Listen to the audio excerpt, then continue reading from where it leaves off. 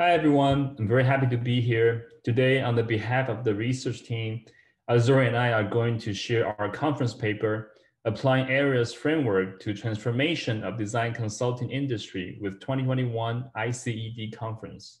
I'm Sheng-Hung. I'm Azuri. With John and Dr. Rhodes' support, we worked together on this paper.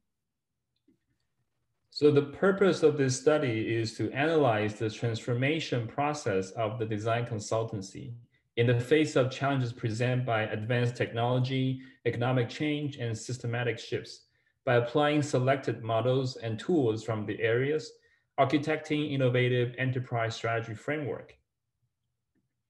The study used IDEO as example to discuss the organizational structure of design consultancies and describe how IDEO has evolved in the context of change.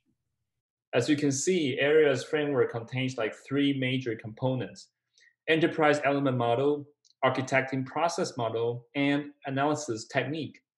We are going to use the following case study to demonstrate how to apply ARIES framework. We select IDEO as our case study for this research.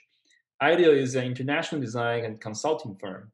It was founded in uh, Palo Alto, California in 1991. The company used the design thinking approach to design products, service, environments, and digital experiences. We can also view IDEO as a collective creative network, including Creative Difference, Open IDEO, Collab, IDEO U, and Experience Innovation. So in terms of our research structure, we apply the selected ARIES framework to the six phase structure of project. We study IDEO from an organization level to people level and analysis IDEO from diverse angles to synthesize our learnings to help envision the future possible for the organization. We also heard from IDEO alumni and community.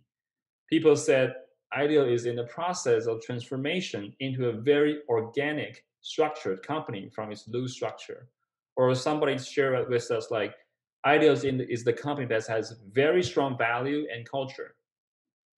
We also break down IDEO key stakeholders into four categories. So along the same line of value exchange analysis, the step is a critical one for value alignment and prioritization.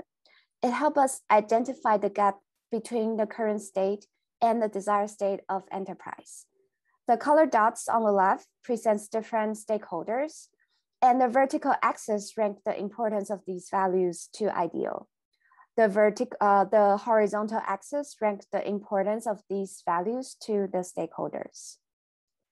In our case, based on our interview with IDEO, what each stakeholder values essentially became the metrics for evaluating new architecture concepts.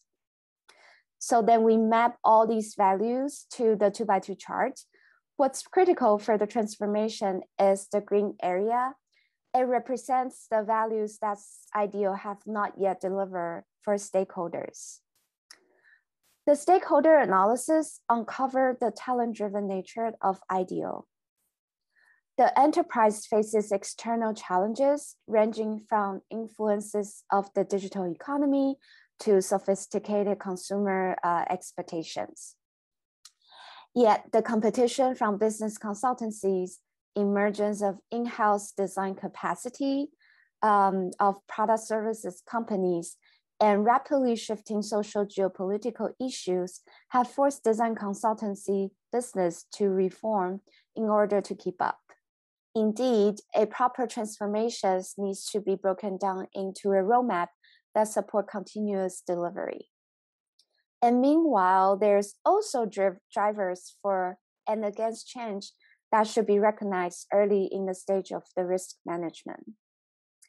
What we presented were the first half of the Aries framework, but in the future, to capture the blueprint properly, the concept will need to be ranked by the stakeholders and finish the second half of the architecting process. For any large scale complex system, the change is never easy. It may break typical ways of working, as the creator of Aries, Nightingales, and Rhodes put. It's not just a brainstorming exercise. It needs thoughtful planning and consideration of non-controllable contexts as well.